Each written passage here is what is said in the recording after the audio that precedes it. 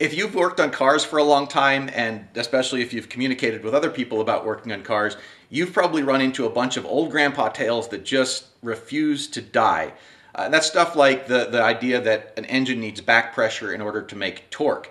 That was never true. It's just one of those things that was handed around as fact before we knew any better, before we had access to dynos everywhere and we could, you know, see that there was never any truth to that. And so when I was first starting out working on cars, I just had to believe old guys. You know, where do you get information from aside from old guys? I hadn't been to school yet. I hadn't learned all this stuff, in, in, you know, in person, and so I had to trust old guys. And they would tell me dumb stuff like engines need back pressure to make torque, and I would just accept that as fact. But that's the difference between being ignorant and being stupid. If you're ignorant, you just didn't know. We're all ignorant about all the things we don't know yet, and, and that's fine. That's where you start to learn things and you reduce your level of ignorance. Cool. Stupid, on the other hand, is when you're presented with new information and you just reject it. You just go, nope, don't want that new information. I'm just going to stick with my old bullshit. And I mean, that's that's a strategy, you know. That's a strategy, I guess. And what I'd like to address today, because it's something that seems to just never die. You know, it's one of those one of those things that just never dies. Is the exhaust gas recirculation system, or EGR, and that's that's what this little video is about. I'm going to try and do it kind of off the top of my head because I, I haven't prepared a whiteboard or any of that kind of stuff. It's a pretty simple concept to understand, and once you understand it, you're going to be less ignorant you know and if you choose to be stupid i mean that's on you but at least you won't have the excuse of not having been exposed to a proper explanation before so the first thing i'd like to mention about egr is what is egr exhaust gas recirculation it is what it sounds like it takes some of the exhaust that's been through your engine and recirculates it back through the intake i know what your grandpa's saying hold it okay let's look at it first so this is an engine. We can see down here, that is the EGR pipe. It comes up off of the exhaust manifold, and that comes up here to this rusty old valve. And that rusty old valve feeds into the intake manifold. And there's a diaphragm there operated by vacuum, and by this solenoid right here, when the computer tells it to, it opens that up and allows exhaust gas to go into the intake manifold. So before we get into why you would want to put exhaust back into the intake manifold, let's talk about one of the first big grandpa things about this that, that people keep on trying to repeat, which is why we do want to put dirty exhaust into your intake manifold? It's dirty. They want to, you know, it's dirty. You're going to make your valves dirty, dirty, dirty, dirty, dirty, dirty, right? The camera is sitting on top of a unique tripod right now. Uh, the tripod it's sitting on top of is the old uh, H-pipe or mid-pipe from this car. Now this car has a catted mid-pipe, meaning it has its catalytic converters in it, but I've taken off the old catted mid pipe because it's a smaller diameter pipe and I think it actually restricts the engine quite a bit just by being smaller diameter pipe. There, there's a lot more skinny little tube that exhaust has to pass through. We're not even talking about cats. But this old H-pipe here that came out of the car has the collector tubes upstream. We'll just go ahead and turn the camera around here. This is upstream of that catalytic converter. So this is directly out of the headers. This is exactly where the EGR would be taking that exhaust from. And you can see this is the inside of it. This car is uh, 240,000 miles when I took this off. So that's 240,000 miles of the engine running. And uh, you can see that I have wiped it with my finger kind of here, but this is, uh, we'll call it virgin territory over here. So I'm going to take my, my relatively clean finger, not a whole lot of boogers on it, and I'm just going to go ahead and rub this around, and then that's, that's how much soot is on there. From a quarter million miles, from 240,000 miles, that's how much soot I got on my finger from wiping it in there. So, this is an old pushrod engine designed in like the 1950s or 60s, right? It's a small block Ford, and it's been on this car that I got from a barn in Idaho for 240,000 miles, and that's how much dirt is going to go back inside your intake manifold. So, Grandpa, sorry, Gramps, you're just wrong. You're just simply wrong so I can hear Grandpa right now. He's saying, "Oh, that's just some old smog stuff that's put on there to please Greta Thunberg." Well, for one thing, this car is older than Greta Thunberg. She's a young woman. This thing's like almost 30. So let's not worry about her relationship to all this stuff here. And uh, second, like, why is why is helping the climate a bad thing? Like, if you ever drove into Los Angeles from anywhere outside of Los Angeles, during the 1970s and 80s, and then you go in there now, wow, it's a big difference. It used to be like driving into a bowl of pea soup. It used to be disgusting. And now you drive over the grapevine or you come in from, you know, from Arizona and it's just it's just another valley full of full of buildings because of all the emissions uh, equipment that was put on both cars and manufacturing in that area. So first off, the whole premise of like stuff that's for smog is a bad thing it's just a stupid premise. It's just it's like so far obsolete. Go be a boomer somewhere else on your own time. Move to France. The rest of us can have a nice clean earth to live on. That out of the way though, even if you don't care about the environment, even if you actively hate the environment, you still want EGR. And here's why. See this little guy here? I'm going to use this to simulate a cylinder or a piston in your car, right? You've got up and down, piston goes up and down. We're going to use this to simulate a cylinder in an engine. Now, you know, if you've worked on cars a lot, that a high compression engine produces more power for the same displacement and is more fuel efficient for the same displacement than a low compression engine is. And the reason for that is pretty simple. There's a couple of things. There's both the thermodynamics of compressing the latent heat in a certain volume of air down to a smaller area. Well, the amount of BTUs present in that air doesn't change. You don't just bleed off those extra BTUs. So they get shoved into a smaller area, and that raises the temperature, and that sets up your conditions for ideal combustion.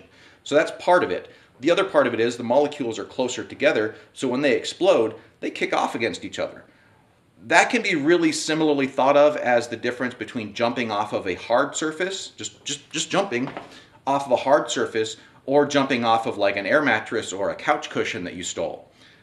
The difference in how high you can jump off of a hard surface versus a soft surface is very similar to why a high compression engine gets a little bit more power out of the gasoline than a low compression engine. Because when that first little kernel of explosion happens, it's got a harder wall of other molecules to push against, and it pushes on the piston harder.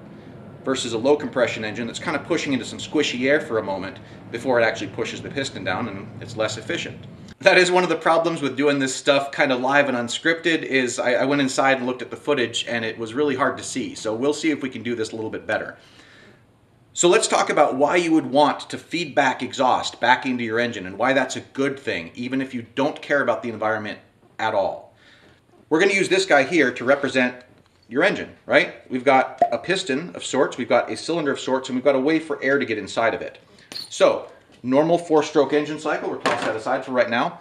Normal four-stroke engine cycle is you've got your suck, right? You suck it in, and then your intake valve closes, you've got your squeeze, and I can't squeeze that all the way because I'm just not super strong apparently. And then you've got your bang, that's when the combustion happens, and then you've got your blow, that's when you push out the exhaust gases. We all know this, I think. If you're watching this video, you probably know how an internal combustion engine works.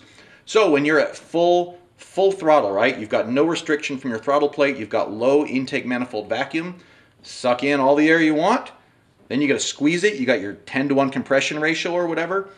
And then you get your explosion and you get the full benefit of all that latent heat that was in all that air that got compressed down into a small area and you've got the benefit of all those molecules being all densely packed so that the flame kernel spreads at the right speed and you've got that kick that just at the exact right time pushes down on the piston and you get all the power out of it.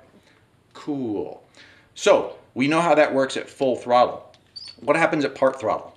Now I don't really have a way of like simulating a part throttle throttle body on this exactly. So what we're going to look at is if you've got part throttle, you've got high manifold vacuum and you go to draw this down, well, you don't get a full thing of air, right? That's kind of how part throttle works. You're throttling it, you're reducing the amount of air it can get.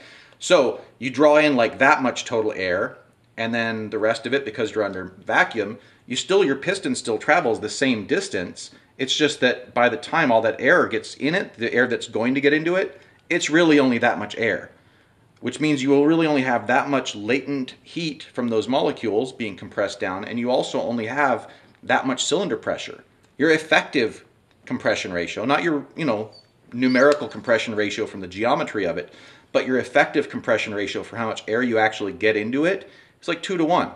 So that means that you don't have that latent heat from all that large volume of air. You don't have that tightly dense packed, you know, bunch of molecules that are ready to just kick off against the, the piston at the exact right time which means that you have much lower volumetric efficiency. You get a lot less energy out of that little bit of gasoline than you would if you had all that extra cylinder pressure available to you. So that's where EGR comes in. Again, we've got light throttle, right? We've got high manifold vacuum because your throttle is almost closed. So you draw in a little bit of air, and then we'll go ahead and put this piece of hose on here to simulate your EGR.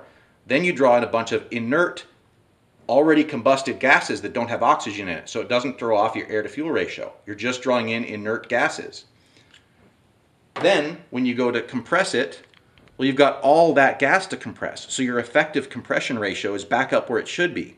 Instead of being this little tiny bit of air to compress, you're compressing quite a lot. And so all those molecules are packed tight, and when they explode, they get to kick off hard against the piston, which means that you get your volumetric efficiency back. And that means that under light throttle, you get the same ignition behavior, meaning your ignition timing doesn't have to widely swing as you adjust your throttle position, which is especially better for older cars that didn't have like coil on plug ignition.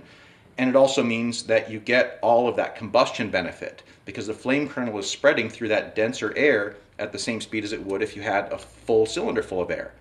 And all that's costing you is nothing. It's all it's costing you nothing.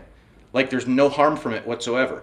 If your engine is burning oil, that's kind of a you thing. Uh, if your engine is running rich, that's kind of a you thing. That's not EGR doing it. So if you've got like a bunch of soot being recirculated back through there, that's not EGR doing that. That's you need to fix your car. You know, like if you're burning oil, you're you're burning oil. That's that's kind of a you problem. And so your EGR is really just there to give you more fuel efficiency and better throttle response at part throttle. And it's not in effect at all at full throttle. It's just simply not there at full throttle. So it's not costing you any horsepower. It's a win and a win. And if it happens to make the air a little cleaner in the process, how does that suck? Like you're not losing anything. You're just gaining. You're gaining better fuel efficiency. You're gaining more throttle response. You're gaining clean air.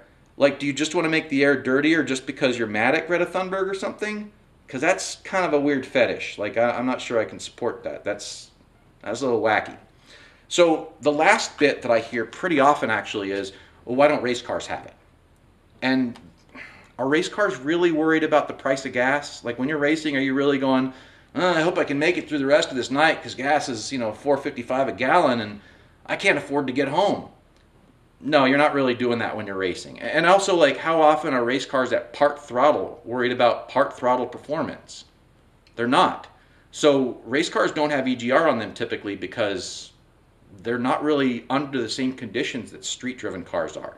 Street driven cars, you're worried about the price of gas, you're worried about part throttle response because you're pretty much under part throttle most of the time. Unless you're in a real slow car where you have to be flooring it everywhere. If you're in a car that's fast, you can't really get away with flooring it everywhere. That's how you end up dead or in jail.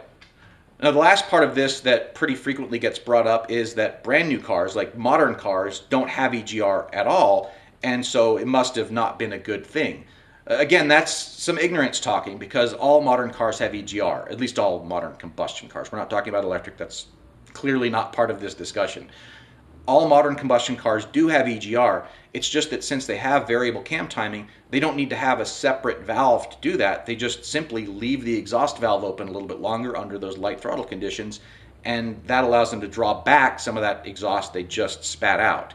They do, you know, cam tricks in order to do that instead of doing it with a separate system.